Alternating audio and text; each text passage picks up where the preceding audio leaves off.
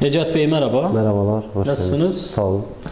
Şimdi öncelikle bizi burada konuk ettiğiniz için şahsınıza teşekkür ediyoruz. Ben teşekkür ederim. Diyarbakır Bağcılar'dayız. Sektörün e, öncü firmalarından birisiniz. Şimdi Han Emlak'ın genel hatlarını öğrenmeden önce şahsınızı bir tanıtalım ekranları başındaki izleyicilerimize. Evet. Necat Ulucan, 1989 doğumluyum. Diyarbakır Lice ilçesinde doğdum. Evet. Sektöre başlamadan önce farklı iş alanlarında çalıştım. Tamam. Ee, Bir arkadaş vasıtasıyla emlak sektörüne giriş yaptım. Hı hı. İki yıl oldu. Bu sektörün içindesiniz. Peki nasıl geçti bu iki yıl? Memnun musunuz?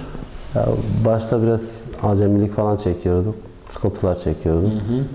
Sonra işte mecburen de olsa Öğreniyorsunuz. Öğreniyoruz. Sektördeki ince ayrıntıları öğrendiniz. İki yıllık süreç geçti. Peki şu anda Diyarbakır'ın neresindeyiz biz? Diyarbakır şu an e, Bağcılar Bağcılar denilen bölgedeyiz. Evet. Niye bu bölgeyi tercih ettiniz?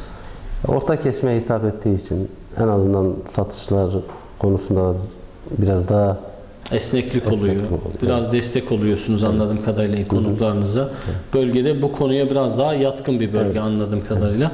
Peki Diyarbakır'ın en gelişen yerleri nereler? Siz insanlara nasıl yardımcı oluyorsunuz bu doğrultuda?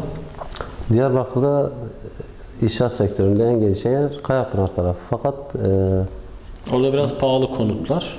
konutlar maliyet yükseldiği için aslında biraz Hı hı. e, konutlar da pahalı. Evet. Ama burası da gelişmekte olan bir yer. E, bunun için hani daha çok burada Bu bölgede. evet, Peki e, kaç kişilik bir kadronuz var? üç arkadaş birlikte Üç çalışan. kişisiniz. evet. Şimdi konuklara nasıl yardımcı oluyorsunuz? Mesela yerleri götürüp birebir gösteriyor musunuz? Ya da Evet. ofiste mi önce ağırlıyorsunuz? Önce ofisimize geliyorlar. İlanlarımızı paylaşıyoruz. Ofise geliyorlar. Ee, neyi aradıklarını, nasıl bir daire e, aradıklarını tespit etmeye çalışıyoruz. Veya neler istiyorlarsa değil mi? Nasıl bir profili aradıklarını tespit ediyoruz. Sonra onların aradı, arayışlarına uygun daire sunuyoruz. Götürüp yerinde gösteriyor Evet, musunuz? yerinde gösteriyoruz.